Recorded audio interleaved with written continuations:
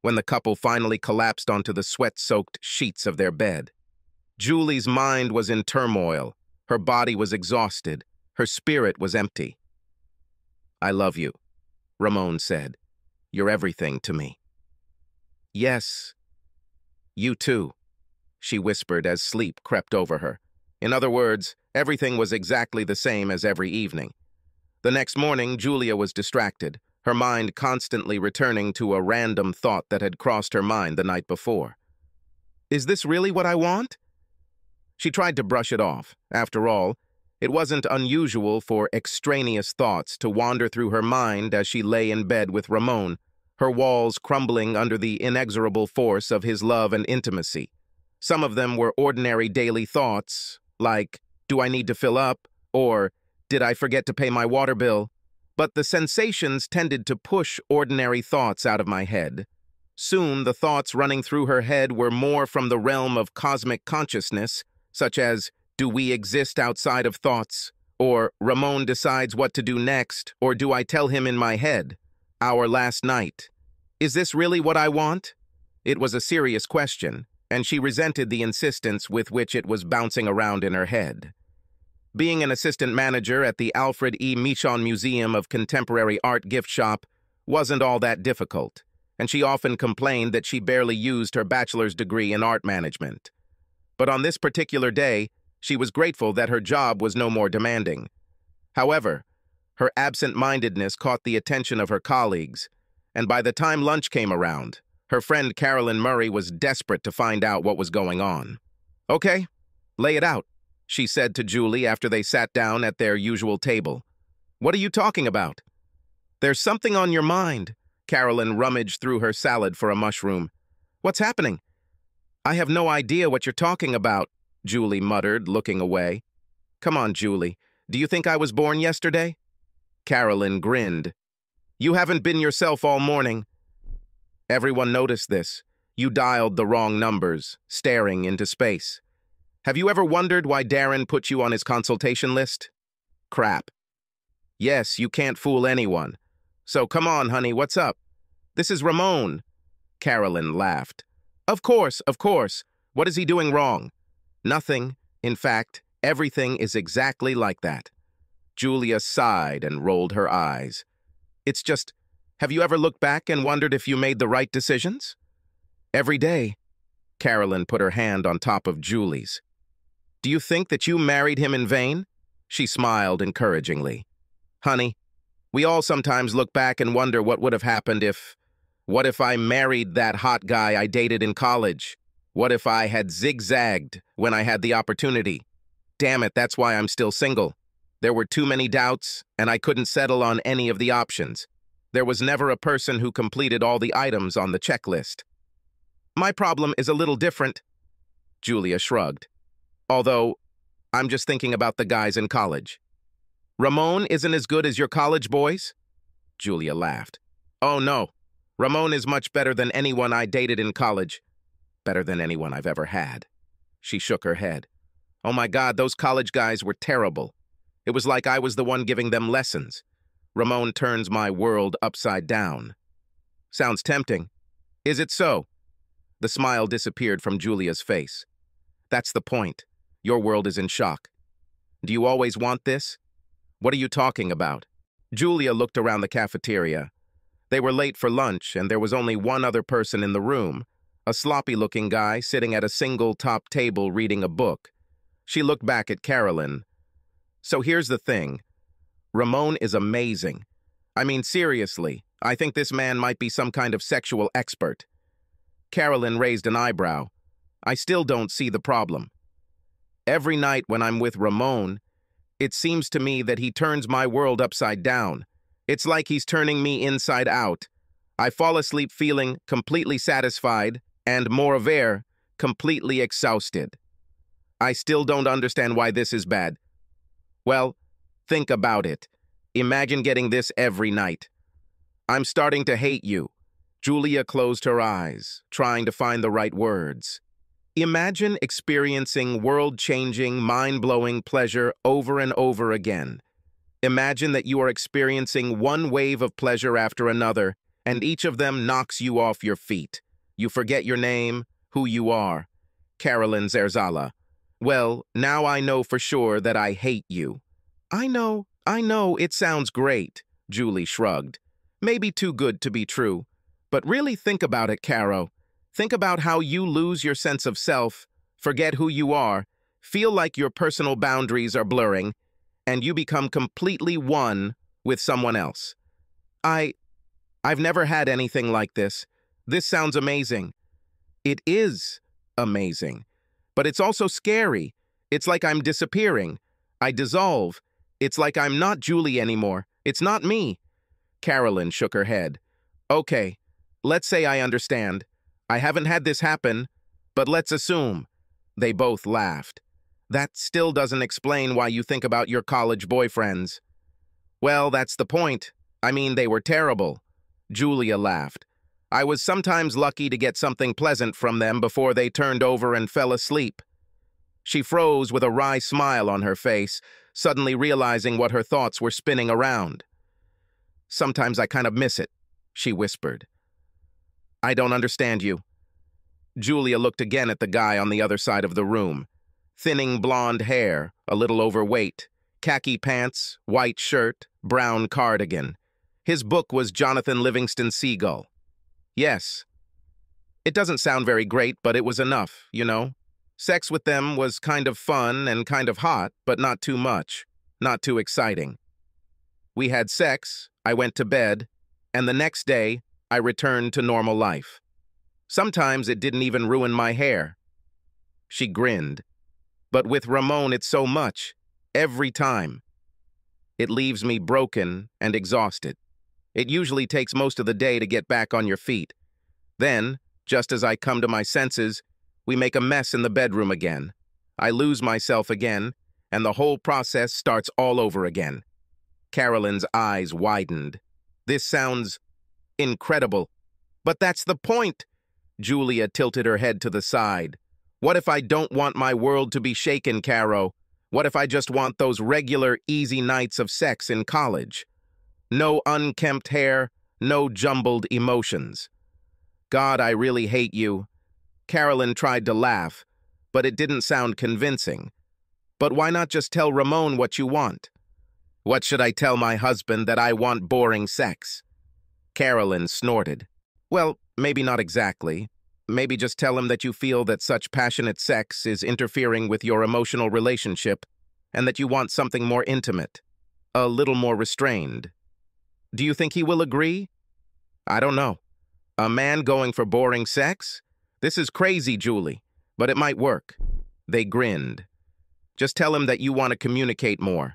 He will probably be in seventh heaven, especially when you let him know you want to try it immediately. Julie took another look at the guy across the room. Very normal. I will try. I still hate you. Seriously. Ramon returned home to the spicy smell of chicken and wine, hot chorizo and hot chili. Basque chicken was a dish that Julie made every time she wanted something. He grinned as he took off his jacket and boots. Julie, I'm home. I am in the kitchen.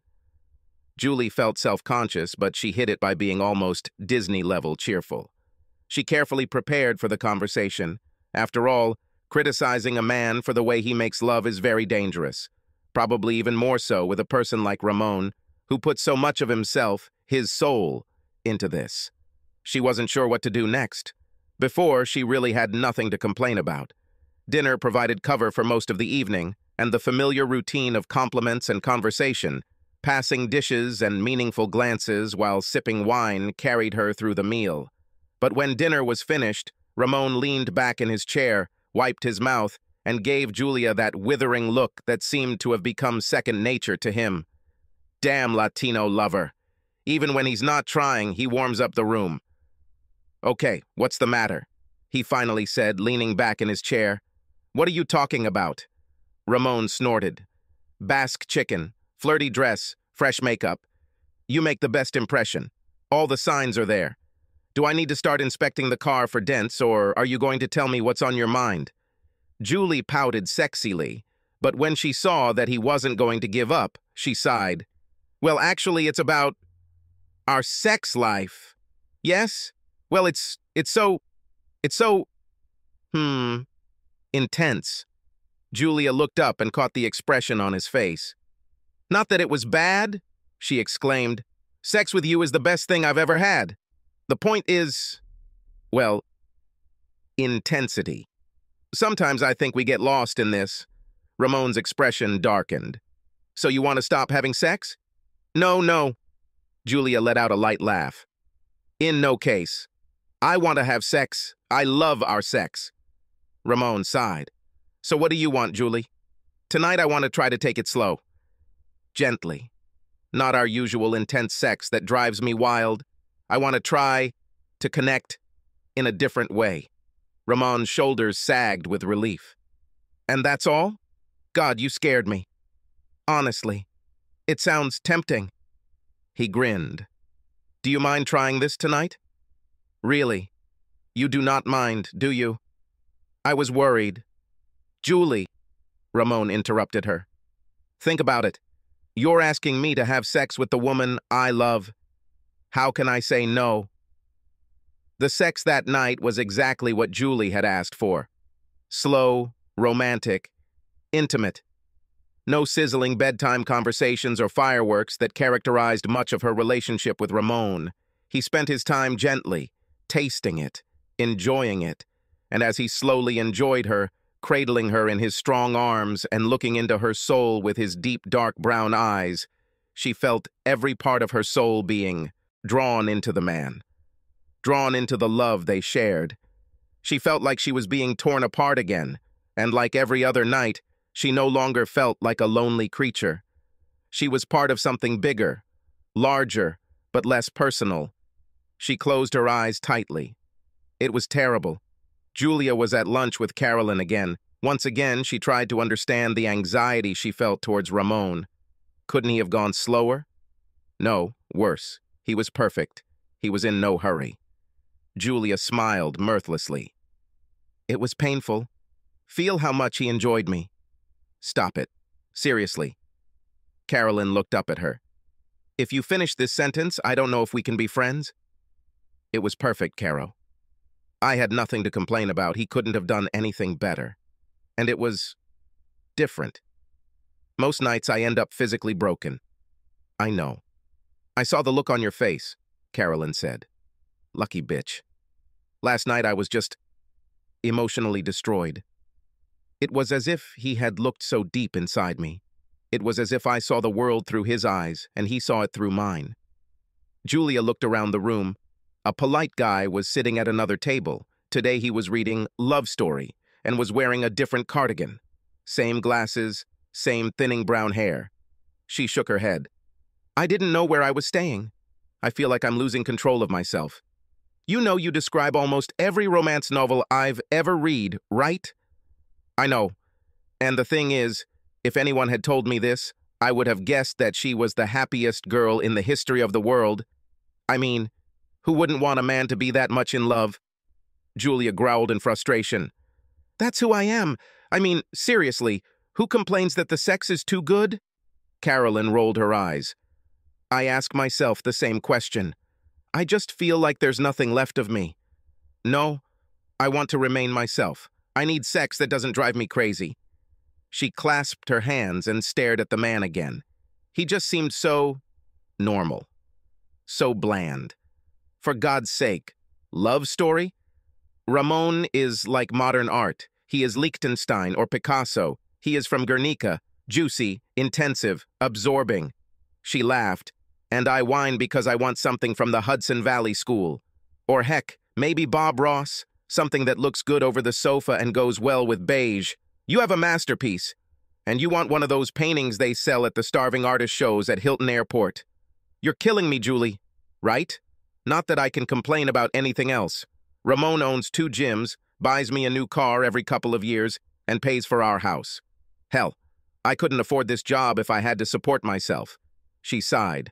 Ramon shows his love in every possible way for a man. He is perfection itself. Carolyn rolled her eyes. You are poor and unhappy. What are you going to do? God, I have no idea. When Julie got home from work, it was raining, and her car wouldn't start. She was about to call an Uber when there was a knock on the window. Looking through the foggy glass, she saw a man from the cafeteria holding a black umbrella. She opened the door slightly.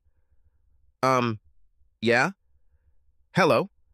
He smiled uncertainly at her. Problems with the car? Yes, it won't start.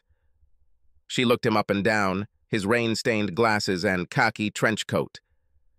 Did I see you in the cafeteria? Hey, Harold. Harold Layton. He adjusted his umbrella and held out his hand for her to shake. It was sticky, but she figured it was probably because of the rain. At least that's what she hoped. I work as an administrator in the accounting department. Julia Garcia, I work in a gift shop. I know, I, uh, uh, saw you there. He blushed. So, uh, do you need any help? I was just about to call an Uber. My car is over there, he said. I'd be glad to give you a ride. Julia had never seen him this close. Average facial features, average height, a little plump, but he wore it well. Affectionate, like a harmless landscape ideal for hanging above a sofa. Of course, uh, Harold. Thank you. Just give me a second. She quickly texted Carolyn and grabbed her bag. Harold's Camry was parked two spaces away, and they walked under his umbrella. The machine told Julie something about Harold. He was tidy, but not obsessively tidy. His ashtray was a bit of a mess, and his rug could use a vacuum. Still, this is several notches above what she expected from a bachelor. In terms of music, he seemed to have a penchant for universal, relaxed, lounge, and easy listening. The hardest thing he included seemed to be Jason Mraz. They talked about the weather, the city, and work. Polite conversation, but strangely calming. It didn't ask too much of her. He was also gentle and careful when he accidentally slid his hand over hers. A moment later, she not so accidentally squeezed his hand. So this is where you live, said Harold, driving up to Julie's house. This is a good area, she said. Polite small talk, soft and soothing. I live a few blocks from here on the Crescent. We are neighbors. Almost, he answered. Anyway, I, um, see you at work. Yes, see you. Thanks for the ride. There was that slightly awkward moment when the ways in which they could say goodbye loomed as a social faux pas in the making. She then decided to shake his hand, and he shook it warmly and dryly in return. Not sticky anymore, she thought. She then got out of the car, entered the house, and found herself back in Ramon's loving arms. A week later, Harold approached her in the cafeteria, just like in some high school movie. He invited Julie to ride with him, listing his reasons as only an accountant could. He only lived a couple of blocks away, so it would be convenient for both of them. Plus, he noted, the issue of refueling and parking was simplified, and not coincidentally, it would be nice to have someone to talk to on the way to and from work. She quickly agreed, although his reasoning wasn't all that convincing. After all, gas only cost a couple of bucks a week, and besides, she often stopped at the grocery store on her way home from work, so commuting with Harold would probably be a challenge. It wasn't that convenient. But then there was this whole company on the road story. Her thoughts kept returning to the way he touched her hand. His touch caused no fireworks, no flames, no electricity. Her eyes did not widen, her breathing did not quicken, but it was easy and comforting, soothing. There were no jumbled emotions or confusing energy. Ramon was worried about Harold until he met him. Not that Harold gave Ramon much to like or dislike. In truth, the guy was definitely cornstarch in the gravy, potato in the stew. Reassured, Ramon gave his blessing and praised Julia for finding a way to save some money and time. Riding around in Harold's car before and after work, she learned about the intricacies of the museum's accounting department and the intricate politics of Harold's neighborhood and the dubious wonders of modern, easy-listening music. She learned most about Harold, and much of what she learned reinforced her previous impressions. To put it mildly, Harold was boring. It was delicious. Two boring parents who were married for 35 years. Twelve boring years at a boring public school, followed by four boring years at a mid-tier public university where he studied accounting, which was boring.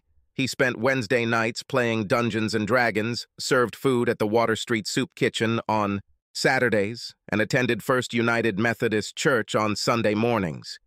He loved The Office and could quote every episode word for word. That's not surprising, Carolyn said when Julie reported this to her. He's the real Toby. So there was Harold, 30 years old, never married, thinning hair and slightly overweight, wire-rimmed glasses, and a penchant for clothing colors ranging from brown to beige. As far as Julia could tell, the most controversial thing he had ever done was touch her hand that day, in his car. Over the next months, they slowly moved from touching hands to shaking hands, from kissing on the cheek to dry kissing on the lips. They made it a rule never to eat together in the staff cafeteria, but once a week they left the building to eat at the deli down the street.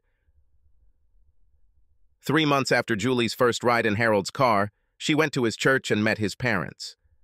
Julia assumed that Harold had told his family and friends that he and Ramon were having problems. And it was true, although Ramon didn't know it yet. Julie had amazing sex with her husband, but sometimes her mind began to wander even before everything was revealed.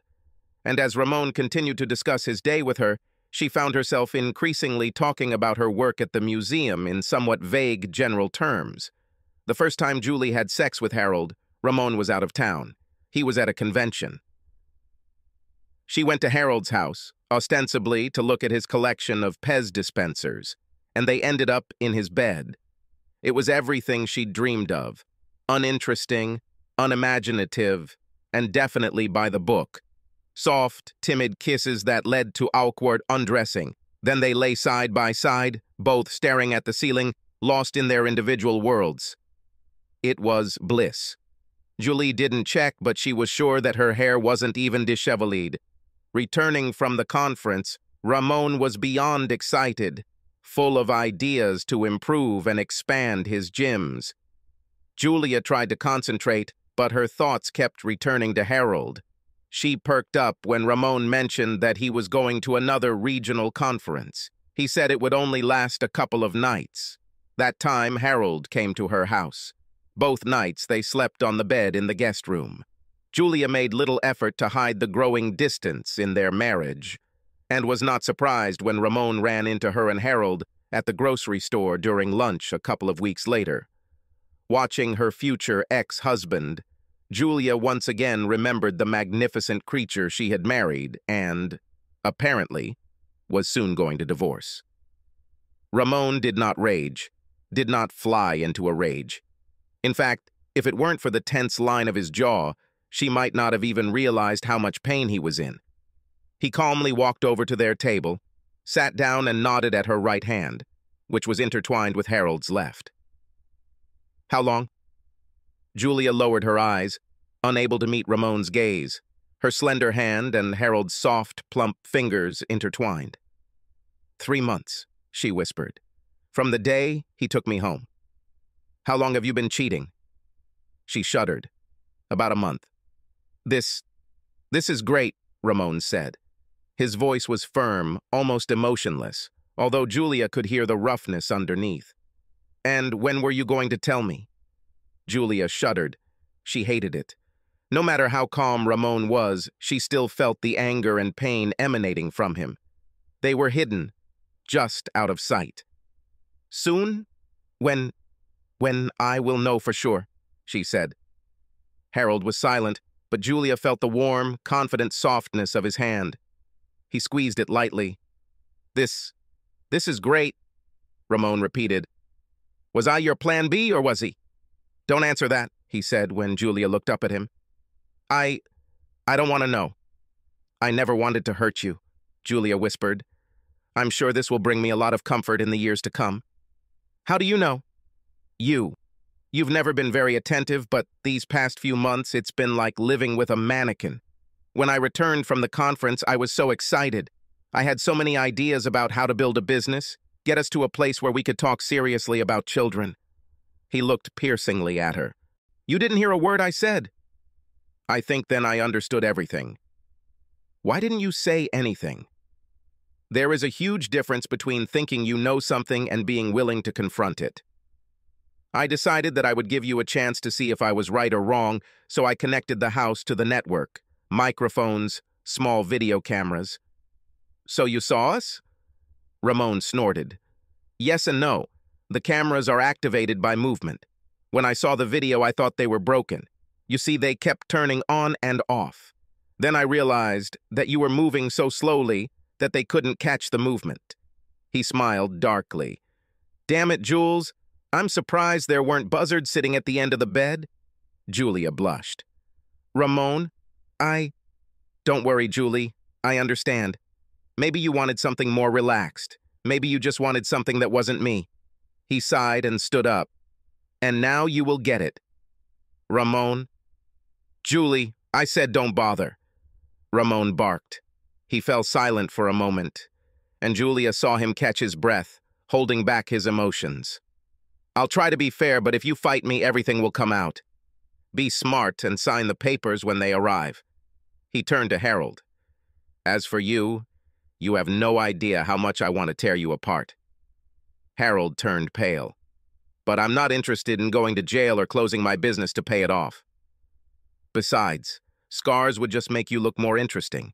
It would be more cruel to leave you as you are. He smiled, a cold, empty smile that Julia had to turn away from. However, if I were you, I would stay away from the dark alleys for a while. I'm trying to be smart, but right now, I'm just I really wanting to pay back. Ramon filed a statement of irreconcilable differences and proposed dividing the spouse's property by 50% without paying alimony. He opened his first gym before they got married, and it was part of their prenuptial agreement. Julie's lawyer advised her to fight it. She began to have some concerns about whether she could live on her salary, so she took his advice. Ramon withdrew the petition, then refiled it, proposing the same separation, but citing adultery. The video was eventually played in court. In fact, it ended up being replayed three times, as the judge stated that he wasn't entirely sure that anything actually happened, given that the action on camera was barely noticeable and the camera kept cutting off. Ultimately, however, he agreed that adultery had occurred, although the lack of cheerfulness and involvement led the judge to wonder whether one or both participants had been drugged with prohibited substances. Julie testified that this was not the case, that both she and Harold had sex of their own free will, and that both enjoyed the incredibly slow, unathletic pace of sex they were having. By the end of his testimony, Ramon was crying. Although looking at him closely, Julia realized that these were tears of laughter. It was humiliating. If there's anything more shameful than having your bedroom behavior criticized by a 70-year-old judge, it's that Julia's 53-year-old mother, after watching the incriminating video, asked her if she should see a therapist. I mean, after what you told me about Ramona, well, honey, it's just... Why? Julia felt herself blushing. Mother, did he beat you, honey? No. Treated you badly? Threatened you? No, Mom. Did he ignore you? Was he more interested in the business than in you? Mom, he was an ideal husband. Then why, Julie? Why in the name of all that is holy did you refuse to marry him and tie your star to Harold? I mean, it doesn't mean he's a bad guy, it's just the way it is. Well, there's just nothing like that there. Julia didn't know what to say. How do you explain to your mother that Ramon was simply unbearable and that he wanted her to be unbearable too, that they were too connected, too in love? She sighed. What can I say, Mom? The heart wants what the heart wants. The heart needs to see a psychiatrist or an ophthalmologist, Julie's mom muttered. Despite the best efforts of Julia's lawyer, Ramon's videotapes more or less failed her case. Given the absence of children and the fact that she had a paid job, the judge said that Julia was fortunate to receive an equal distribution of the marital property. He also noted that although he had no legal basis to force her to see a psychiatrist, he strongly advised her to see a professional. Julie and Ramon's accounts weren't all that full, as he insisted on plowing profits back into the gyms and only paid himself a modest salary. However, she received a check for a decent amount from the sale of the house, and was able to pay off most of her student loans. She lived at home for several months and then moved in with Harold. A year after their divorce, they were married in his parents' church, and a year after that, she gave birth to Harold Layton Jr. Karen, Julie, and Rob followed before Harold Sr. decided to have a vasectomy. Julie quit her job at the museum when she became pregnant with Harold Jr., but returned part-time after Rob started school. As before, she and Harold went to work together, and as before, she listened to a lot of Jason Mraz and Michael Bublé. Carolyn never stopped working at the museum, and when Julie returned, Carolyn was director of merchandising, a position that took her several rungs higher in the ranks than her old friend. However, sometimes they would have lunch together in Carolyn's office or cafeteria. Julia tried to ignore the nameplate on Caro's desk, Carolyn Garcia. After their divorce, Ramon threw himself into his business and, with almost the same energy, into dating. For about a year, it seemed like Julie could barely walk. Into a room without hearing her ex-husband's name mentioned in hushed conversations. She didn't know if he was deliberately targeting the women who worked at the museum and attended Harold's church, or if he was simply courting every available woman in town.